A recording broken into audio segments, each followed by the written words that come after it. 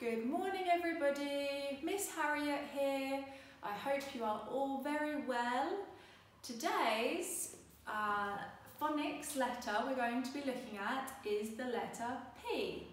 Can everyone say pa pa pa? Very good. Now let's have a look at this story. So let's first of all practice some P sounds. Can everyone repeat pink, pa pa pa, pink? Spin, cup, and pop. Very good. Now let's have a little read of this story with lots of P sounds. This little boy is having a birthday party.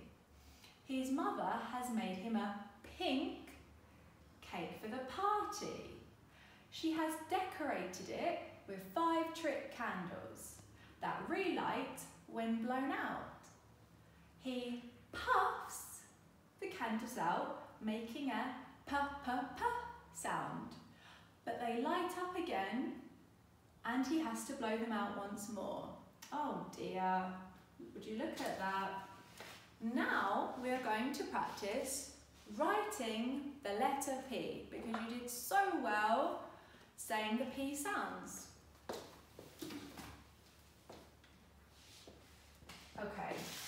So to write the letter P, you take your pen, you go all the way down, and then you go across. So all the way down, and then across. Let's try that two more times, everybody. Down and across. Down and across. Now try that at home. I'm sure you all did fantastic. Now, please have a go at writing the letter P and send me your videos or photos. I would love to see them. I look forward to seeing you all again soon. Thank you. Bye.